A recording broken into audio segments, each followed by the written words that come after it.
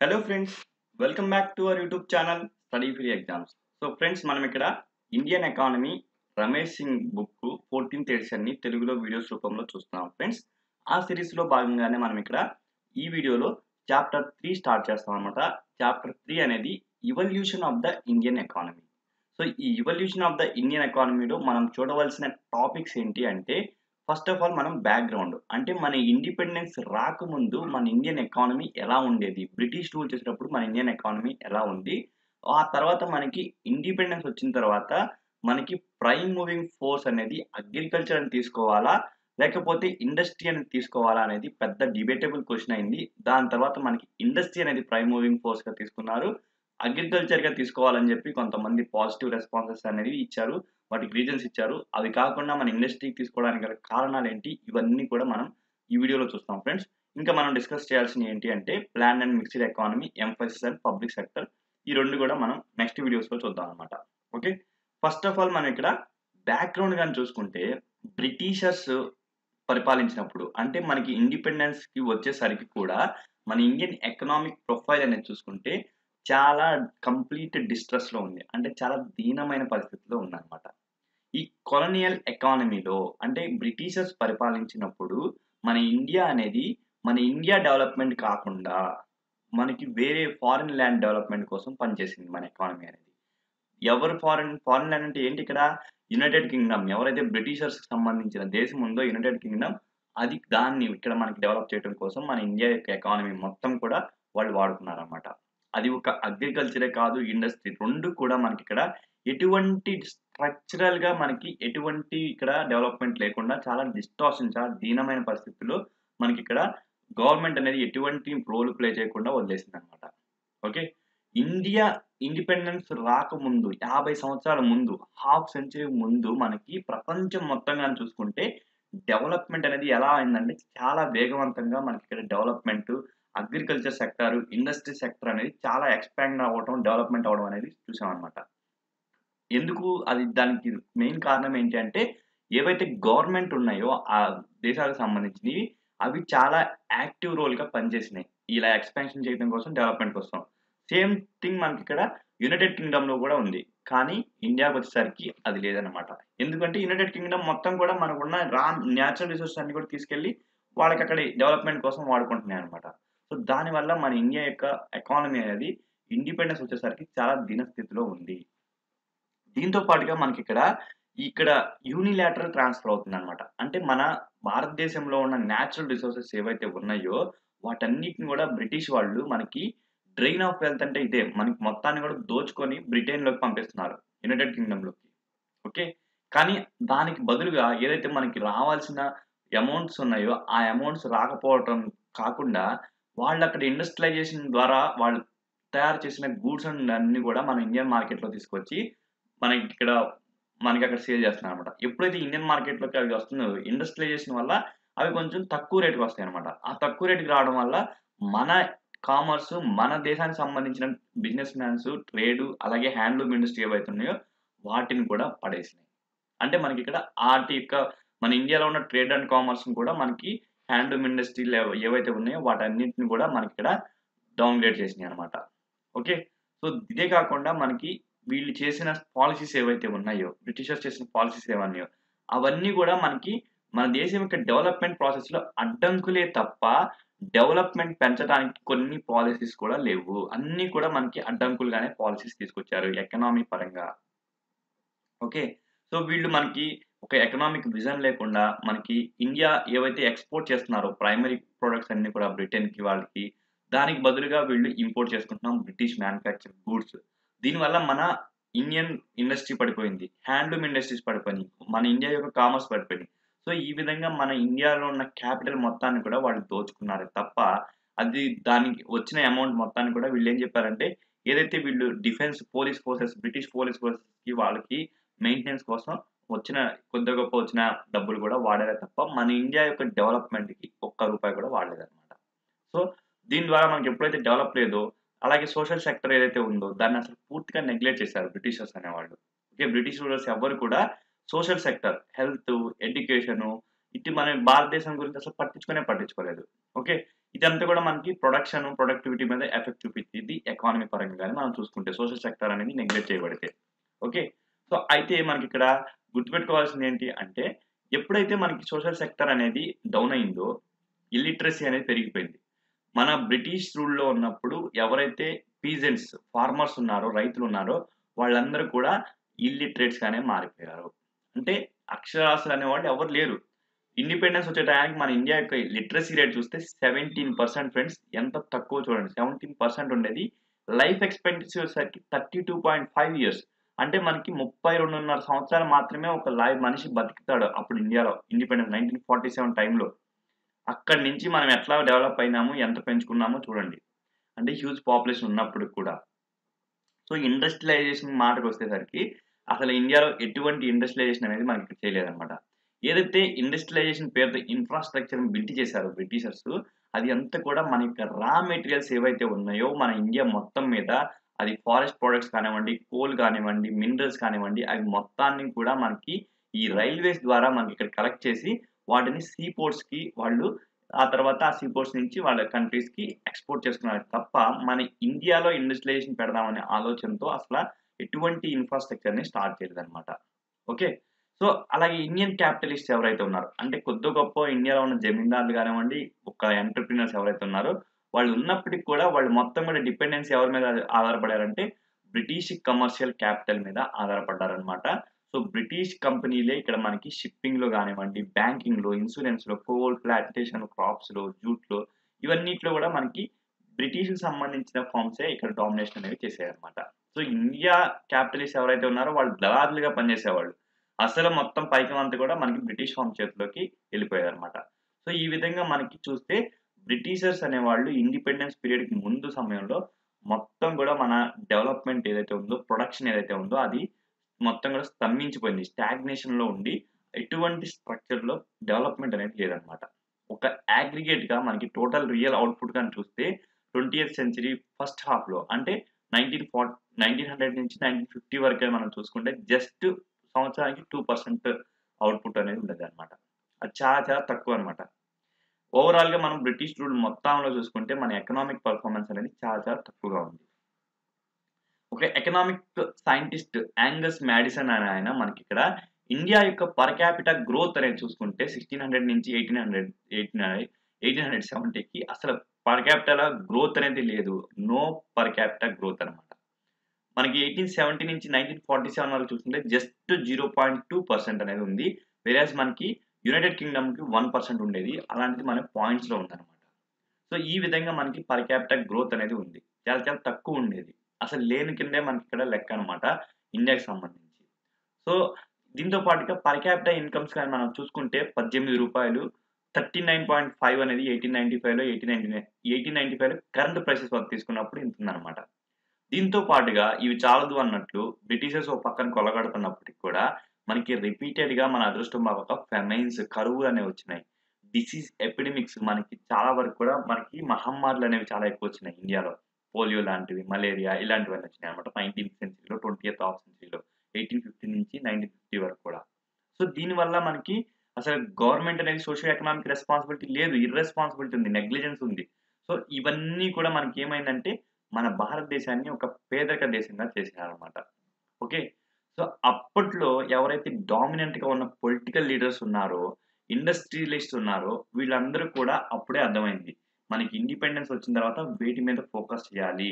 అవంతా ఫుల్లీ అవేర్నెస్తో కాన్షియస్నెస్తో ఉన్నారు. కాకపోతే వాళ్ళు ఇండిపెండెన్స్ కోసం ఎదురు చూసారనమాట సో వీళ్ళన్ని అందరు కలిసి ఎటువంటి ఇష్యూస్ని మనం ఇక్కడ ఇండిపెండెన్స్ వచ్చిన తర్వాత డెవలప్ చేయాలి అనుకున్నారో మనకి ఎవరైతే ఈ ఈ అనుకున్న వాళ్ళందరూ కూడా ఏంటి? మన ఇండిపెండెంట్ ఇండిపెండెన్స్ వచ్చిన తర్వాత ఇండియన్ ఎకానమీకి ఫౌండేషన్ స్టోన్స్ వేసేవాళ్ళు అనమాట వీళ్ళందరూ కూడా ఒక ఏక ఏకాభిప్రాయాన్ని దేని మీద వచ్చినారు అంటే స్టేట్ గవర్నమెంట్స్ అనేవి. అంటే గవర్నమెంట్స్ స్టేట్ అన్నా కానీ గవర్నమెంట్ అన్నా ఒకటే ఫ్రెండ్స్ ఓకే సో గవర్నమెంట్ అనేది మనకి ఇక్కడ డైరెక్ట్లీ రెస్పాన్సిబిలిటీగా ఉండాలి డెవలప్మెంట్కి.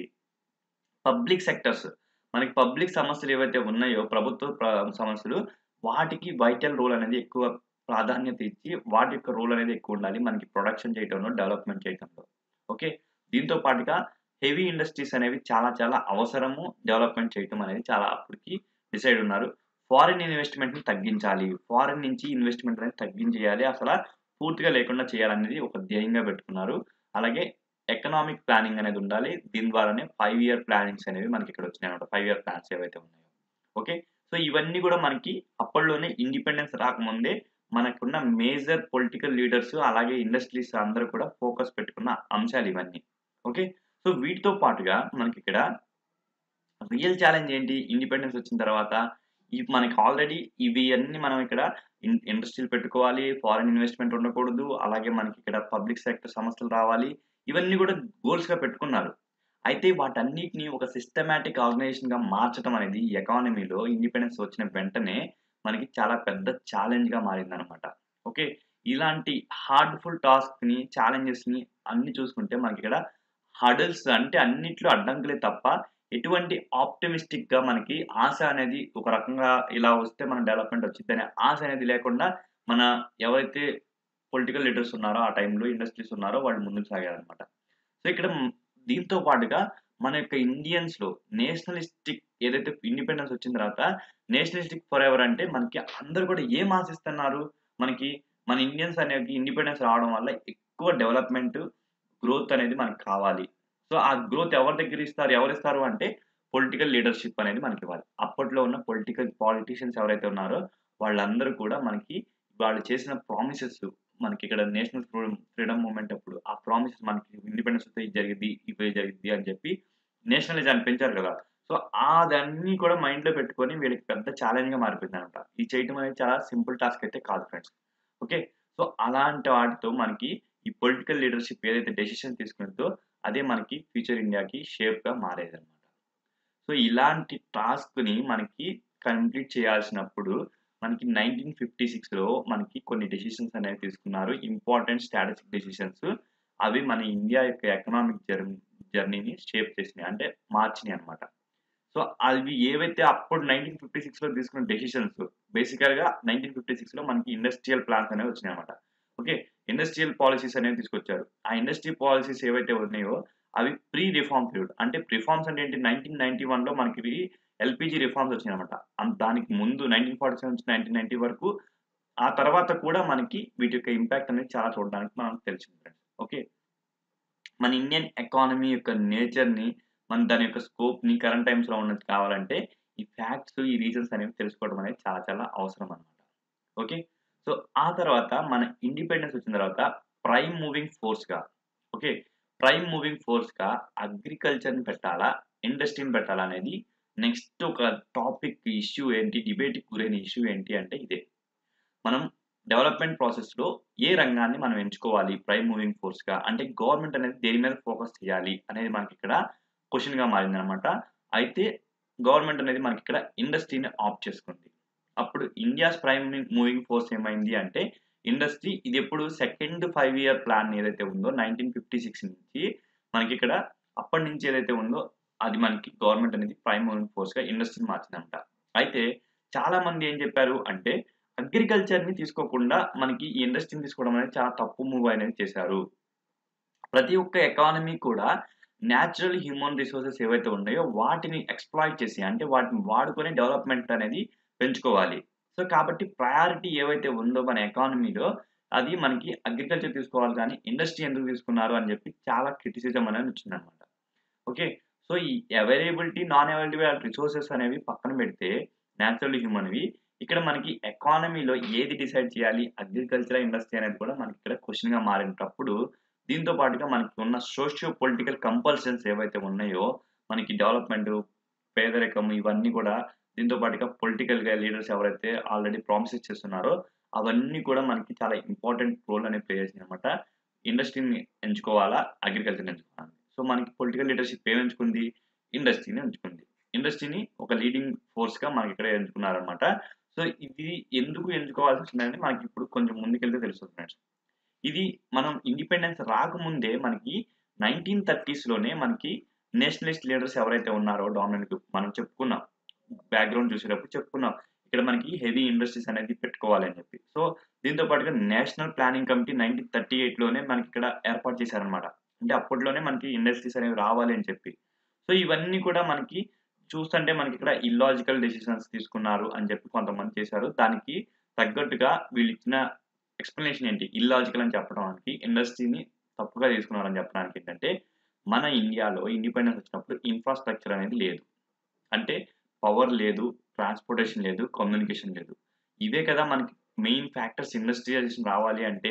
సో ఇలాంటివి లేనప్పుడు మనకి ఎందుకు తీసుకున్నారు? దీంతో పాటుగా మనకి ఇక్కడ ఇండస్ట్రీస్ యొక్క infrastructure suppose iron steel cement వీటికి సంబంధించిన ఇన్ఫ్రాస్ట్రక్చర్ అనేది అసలు లేనే లేదు. అంటే ఒక చిన్న బేస్ కూడా మన దగ్గర లేదు. సో అలాంటప్పుడు ఇండస్ట్రీస్ని ఎందుకు తీసుకొచ్చారు వీళ్ళు? ఇన్వెస్టబుల్ క్యాపిటల్ మనీ అనేది ఎవరు చేసేవాళ్ళు? ఇన్వెస్ట్ చేయడానికి గవర్నమెంట్ దగ్గర డబ్బులు లేవు. ప్రైవేట్ సెక్టర్ కూడా మన దగ్గర లేదు. సో అలాంటప్పుడు ఎలా మన ఇండస్ట్రీస్ తీసుకుని దానివల్ల వచ్చింది ఏంటి లాభం? టెక్నాలజీ లేదు మన దగ్గర. రీసెర్చ్ అండ్ డెవలప్మెంట్ లేదు. స్కిల్డ్ మ్యాన్ పవర్ లేదు. ఎంటర్ప్రినర్షిప్ లేదు. ఎవరు కూడా బిజినెస్ మ్యాగ్నెట్స్గా ప్రజలు ముందుకు వచ్చిన వాళ్ళు లేరు. అలాగే మనకి దీనికి సంబంధించి ఒకవేళ ఇండస్ట్రీస్ పెట్టి మనం ఇక్కడ మార్కెట్స్లో గూడ్స్ తీసుకొస్తే ఆ మార్కెట్స్లో కొనేవాళ్ళు ఎవరున్నారు? మన అందరూ ఇండియా మనం ఉన్నాడు అందరూ కూడా పేదరికంతో ఉన్నారు. ఇండస్ట్రియల్ గూడ్స్కి మార్కెట్ లేదు.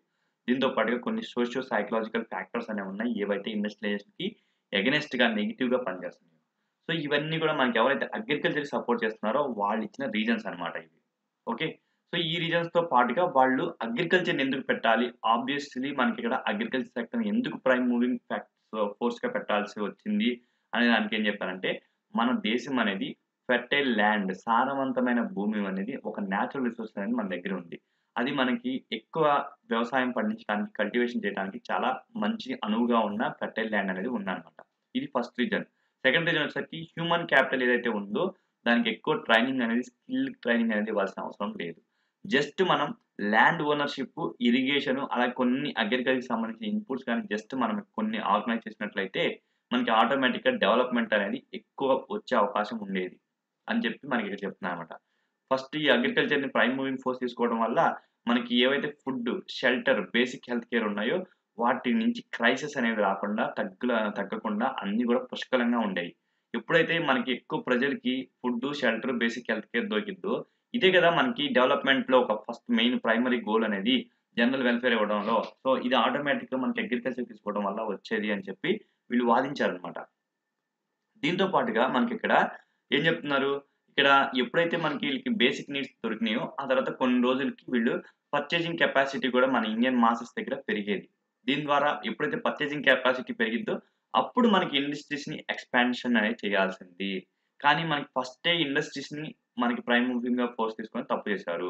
ఎప్పుడైతే మనకి ఎక్కువ మనీ అనేది వచ్చిద్దో అందరూ మనీ సర్ప్లస్గా ఉండిద్దో ఇన్కమ్ అనేది అప్పుడు మనకి ఇండస్ట్రీస్ అనేవి మార్కెట్లో సక్సెస్ అయ్యేది ఎలా అయితే పీపుల్ రిపబ్లిక్ చైనాని కంపేర్ చేశారనమాట చైనా మనకి నైన్టీన్ ఫార్టీ నైన్లో సేమ్ థింగ్ అలాగే ఫస్ట్ అగ్రికల్చర్ని ఇక్కడ ప్రైమ్ మూవింగ్ ఫోర్స్గా ఎన్నుకొని ఆ తర్వాత వచ్చిన సర్ప్లస్ ఏదైతే ఉందో అగ్రికల్చర్ వల్ల వచ్చిన ఎక్స్ట్రా ఇన్కమ్ ఏదైతే ఉందో దాంతో మనకి ఇండస్ట్రియలైజేషన్ని నైన్టీన్ సెవెంటీలో పెంచి ఇప్పుడు ప్రపంచంలోనే ఒక గొప్ప ఇండస్ట్రియల్ దేశంగా మనకి ఇక్కడ ఎమర్జ్ అయింది. ఇది మనకి ఇక్కడ తెలుస్తుంది. అయినప్పటికీ కూడా వీళ్ళు అగ్రికల్చర్ తీసుకోలేదు. అంటే ఈ డిస్కషన్ మొత్తం విన్న తర్వాత మీకు క్వశ్చన్ రావచ్చు. అంటే మన ఇండియన్ పొలిటికల్ లీడర్స్ అనేవాళ్ళు ఇంత పెద్ద తప్పు చేశారా? వీళ్ళు ఇంత చిన్న లాజిక్ని అనలైజ్ చేయలేకపోయారా? మనకి అప్పట్లో అగ్రికల్చర్ తీసుకోకుండా ఇండస్ట్రీ తీసుకుని తప్పు చేశారా? మూవింగ్ ఫోర్స్గా అనేది మీకు డౌట్ రావచ్చు.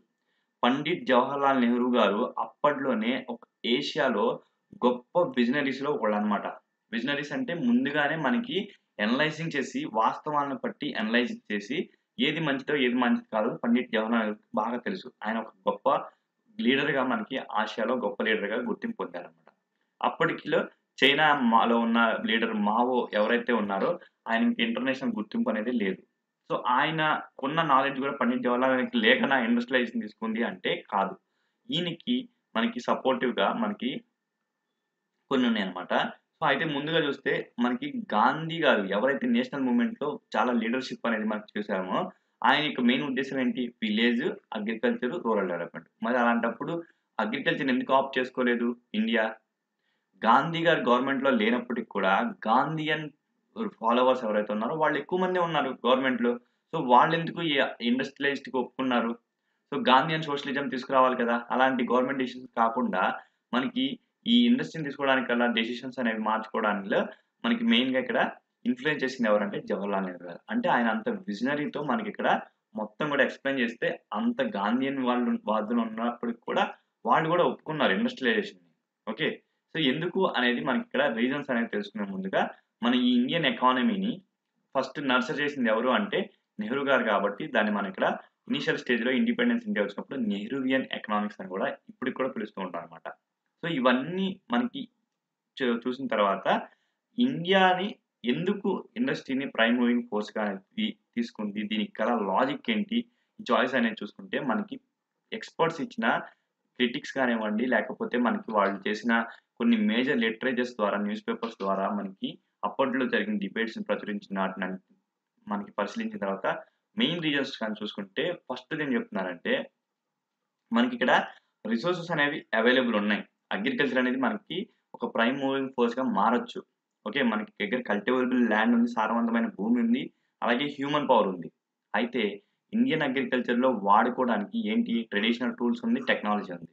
మోడరైజేషన్ అనేది లేదనమాట ఫ్యూచర్ మెకానిజం అనేది రాదు. ఎందుకు అంటే మనకి అది బ్లాక్ అయిపోయింది. ఇక్కడ ఇండిజినస్ సంబంధించి మన దేశీయంగా ఉత్పత్తి చేసుకునే ఇండస్ట్రియల్ సపోర్ట్ అనేది లేదు.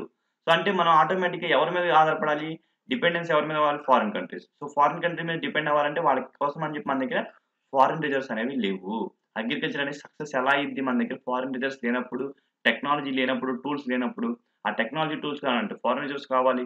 లేకపోతే ఇండస్ట్రియలైజేషన్ ఉండాలి. ఇండస్ట్రియలైజేషన్ లేదు ఫారిన్ రిజర్వ్స్ లేదు. అలాంటప్పుడు మనం అగ్రికల్చర్ తీసుకుని మనం ఏం చేస్తాం ప్రైమ్ మినిస్టర్స్గా? అందుకని చెప్పి ఇండస్ట్రీని కానీ మనం చూస్ చేసుకుంటే ఏదైతే మనకి అగ్రికల్చర్లో కావాల్సిన ట్రెడిషనల్ టూల్స్ని తీసేసి కొత్త టూల్స్ అనేవి టెక్నాలజీ అనేది మనం స్వయంగా తయారు చేసుకోవడానికి ఇది అవకాశంగా మారింది.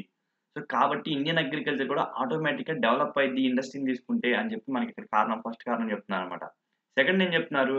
ఏదైతే మనకి డామినెంట్ ఐ ప్రపంచంలో డామినెంట్ ఐడియాలజీ అలాగే వరల్డ్ బ్యాంకు ఐఎంఎఫ్ ఏవైతే ఇంపార్టెంట్ వరల్డ్ ఇన్స్టిట్యూషన్స్ ఉన్నాయో ఫినాన్షియల్ ఇన్స్టిట్యూషన్ ఇవన్నీ కూడా ఎవరికి ఫేవర్గా ఉన్నాయి అంటే ఇంటర్ ఇండస్ట్రియలైజేషన్ ఫేవర్గా ఉన్నాయి నైన్టీన్ ఫార్టీ సెవెన్ టైంలో ఓకే? ఎందుకు అంటే ఫాస్టర్ గ్రోత్ అనేది మనకి ఇండస్ట్రియలైజేషన్ ద్వారానే వచ్చింది దాన్ని మనం ఇక్కడ ఫాస్టర్ డెవలప్మెంట్గా మార్చుకోవచ్చు. సో ఈ ఇండస్ట్రియల్ బాడీస్ అనేవి సపోర్టింగ్ దేనికి ఇస్తున్నాయి అంటే ఇండస్ట్రియలైజేషన్ ఇండస్ట్రియలైజేషన్కి ఇస్తున్నాయి అనమాట సో ఇలాగే మనకి డెవలప్డ్ ఎకానమీస్ కూడా మనకి ఇండస్ట్రియలైజేషన్ వైపే మొగ్గు చూపుతున్నాయి.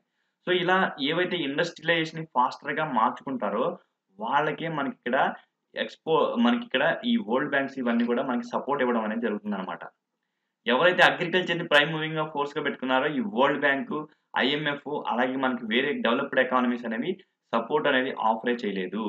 అగ్రికల్చర్ని మనకి ఎలా చూసినాయి అంటే ఒక బ్యాక్వర్డ్నెస్కి సింబల్గా మనకి ఆ టైంలో అగ్రికల్చర్ సెక్టర్ని చూసినాయి అనమాట ఇండస్ట్రియలైజేషన్ ఏమో మనకి డెవలప్మెంట్కి సింబల్గా బ్యాక్వర్డ్నెస్ డెవలప్మెంట్కి అగ్రికల్చర్ని చూసినాయి. సో మరి మన ఇండియాలో లీడర్షిప్స్ అప్పుడే అసలు మనకి చాలా ఆశయాలతో వచ్చిన పొలిటికల్ లీడర్స్ ఏంటి? ఇండియాని బ్యాక్వర్డ్నెస్ ప్రపంచ దృష్టిలో బ్యాక్వర్డ్నెస్ చూడడం అనేది వాళ్ళకి ఇష్టం లేదు. ఇండియా అనేది ఎప్పుడు కూడా ముందుకు వెళ్ళాలి. ఇక తప్ప బ్యాక్వర్డ్ డైరెక్షన్ రాకూడదని చెప్పి మనకి ఇండస్ట్రియలైజేషన్ని ఇక్కడ ప్రైమ్ మూవింగ్ ఫోర్స్గా తీసుకున్నారనమాట కానీ నైన్టీన్ నైన్టీస్ వచ్చేసరికి అంటే నైన్టీన్ ఫార్టీ సెవెన్ నుంచి నైన్టీన్ నైన్టీస్ వరకు సేమ్ ఫీలింగ్ ఇండస్ట్రియలైజేషన్ మీద ఎక్కువ ఫీలింగ్ ఉంది.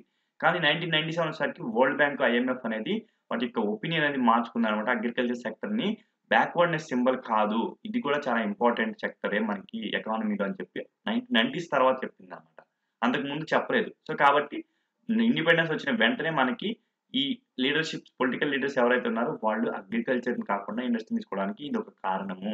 ప్రపంచంలో అందరూ కూడా ఇండస్ట్రియలైజేషన్ వైపు చూశారు కాబట్టి. థర్డ్ పాయింట్ ఏం చెప్తున్నారు? సెకండ్ వరల్డ్ వార్ టైంలో మనకి డిఫెన్స్లో పవర్ అనేది పెంచడం సూపర్ మెస్సీ అనేది చాలా చాలా అవసరం. డిఫెన్స్ పవర్ అనేది మనకి చాలా కలిగి ఉండాలి అయితే ఒక దేశం యొక్క డిఫెన్స్ పవర్ అనేది మనకి సైన్స్ అండ్ టెక్నాలజీ మీదే కాకుండా ఇండస్ట్రియల్ బేస్ అనేది కూడా చాలా చాలా అవసరం. సో ఇండియా కూడా మనకి ఇక్కడ ఒక పవర్ఫుల్ డిఫెన్స్ బేస్గా మారాలి అని చెప్పి మనకి ఒక డిఫరెంట్ ఫోర్స్ అంటే ఎవరన్నా మన మీద అటాక్ చేస్తే వాళ్ళకి అడ్డుగా నిలవాలి అంటే మన దగ్గర డిఫెన్స్ పవర్ అనేది ఉండాలి. డిఫెన్స్ పవర్ అంటే మనకి మనకి తుపాకులు మందుగుండు సామాన్లు ట్యాంకర్లు బాంబులు ఇవన్నీ ఉండాలన్నమాట. ఇవన్నీ ఎట్లా వస్తాయి? ఇండస్ట్రీ వల్ల వస్తాయి. సో మనకి ఇండస్ట్రీని ఆఫ్ చేసుకోవడం వల్ల ప్రైమ్ మూవింగ్ ఫోర్స్గా మనకి చాలా ఛాలెంజెస్ అనేవి మనకి ఇక్కడ జవాబు దొరుకుతుంది అనమాట ఒకటి ఇండస్ట్రీ వల్ల మనకి ఫాస్టర్ గ్రోత్ అనేది చూస్తాం.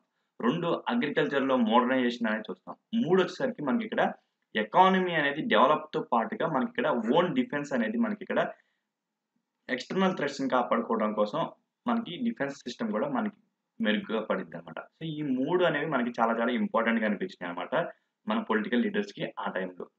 సో కాబట్టి మనకి వీళ్ళు పేస్ ఆఫ్ మోడర్నైజేషన్ అనేది సస్టైనబిలిటీగా ఉండే విధంగా అచీవ్ చేసే విధంగా వీళ్ళు టెక్నాలజీ ఇవన్నిటిని వాడుకుంటూ ఇండస్ట్రియలైజేషన్కి ప్రిఫరెన్స్ ఇచ్చారనమాట ఫోర్త్ పాయింట్ అనేది ఇండిపెండెన్స్ రాకముందులే కొంతమంది సోషియో ఎకనామిక్ కాన్సెస్ కానివ్వండి సోషల్ సైంటిస్ట్ అనే వాళ్ళందరూ కూడా మన సోషల్ చేంజ్ అనేది రావాలి. అంటే సొసైటీలో మార్పులు అనేవి రావాలి. ఏవైతే మనకి సోషల్ సెక్టార్ని నెగ్లెక్ట్ చేసిందో బ్రిటిష్ గవర్నమెంట్ వాటన్నిటిని కూడా మోడరైజేషన్ తీసుకొచ్చి ట్రెడిషనల్గా అవుట్మోడెడ్ వేలో ఎవరైతే బతుకుతున్నారో కల్టివేషన్ చేస్తున్నారో ఇవన్నిటిని కూడా మార్చాలి అనేది ఉందన్నమాట. సో ఈ ఫీలింగ్స్ అన్నీ కూడా మనకి ఈ పొలిటికల్ లీడర్షిప్ని హోల్ హార్టెడ్గా ఇండస్ట్రియలైజేషన్ వైపుకి తీసుకెళ్ళినాయి. ఇవన్నీ కూడా ఇండస్ట్రియలైజేషన్ రావడం వల్లే మారుతాయి అని వీళ్ళు గట్టిగా నమ్మారనమాట అందుకని చెప్పి ఇండస్ట్రియలైజేషన్ని ప్రైమ్ మూవింగ్ ఫోర్స్గా పెట్టారు. అలాగే మనకి ఇండిపెండెన్స్ వచ్చే టయానికి ఇండస్ట్రియలైజేషన్ అనేది ఆల్రెడీ ప్రూవ్ చేసింది. ప్రపంచం మొత్తం కూడా ఎలా పనిచేసింది ఎలా పేస్ అనేది ఎలా యాక్సలరేట్ చేసింది అనేది. ఓకే డెవలప్మెంట్ అనేది ఎలా వచ్చింది సో ఇవన్నీ కానీ మనం రీజన్స్ కానీ చూసుకుంటే ఈ రీజన్స్ అన్నీ కూడా మన ఇండియన్ పొలిటికల్ లీడర్స్ అనేవాళ్ళు నైన్టీన్ ఫిఫ్టీ సిక్స్ టైంలో మనకి ఇండస్ట్రీని మై ప్రైమ్ మూవింగ్ ఫోర్స్గా పెట్టడానికి ఎకానమీలో ఇది మెయిన్ కారణాలు అనమాట ఇవన్నీ. ఎవరైతే మనకి ఇక్కడ వేరే వాళ్ళు డిమా ఎక్స్పర్ట్స్ అనేవాళ్ళు చాలా చాలా డివిజెంట్ ఒపీనియన్స్తో ఉన్నారనమాట ఈ ఇష్యూ మీద. ఇవన్నీ పక్కన పెడితే ఇక్కడ మనకి మెయిన్ ప్రైమ్ మూవింగ్ ఫోర్స్గా పెట్టడానికి ఓకే ఇండస్ట్రీస్ అనేవి చాలా చాలా అవసరం కాబట్టి అప్పట్లో అవే ఒక హోప్గా విష్గా ఉన్నాయి కాబట్టి డెవలప్డ్ ఎకానమీగా మనకి దీన్ని తీసుకున్నారు. అయితే దీనివల్ల మనకి ఇది కంప్లీట్లీ ఫెయిల్ అయింది ఎకానమీని డెవలప్ చేయడం అనేది ఇప్పుడు కూడా క్వశ్చన్స్ అనమాట ఎక్స్పర్ట్స్ అనేవాళ్ళు. సో వీటి నుంచి మళ్ళీ ఇంకా మనకి కొంత మ్యాటర్ అనేది ఉంది. ఫ్రెండ్స్ ఎందుకు మనకి ఇక్కడ ఇండస్ట్రీస్ ఇంపార్టెంట్ అగ్రికల్చర్ ఇంపార్టెంట్ అనేది సో దీంతో పాటుగా మనకి మిక్స్డ్ ప్లాన్ ఎకానమీ కూడా నెక్స్ట్ వీడియోలో చూద్దాం ఫ్రెండ్స్. ఈ వీడియో కానీ మీకు నచ్చినట్టయితే ప్లీజ్ వీడియోని లైక్ చేయండి. ఏదైనా డౌట్ ఉంటే ఫ్రెండ్స్ కామెంట్ బాక్స్లో కామెంట్ చేయండి. ఈ ఛానల్ సబ్స్క్రైబ్ చేసుకోండి friends. Thank you for watching. జై హింద్.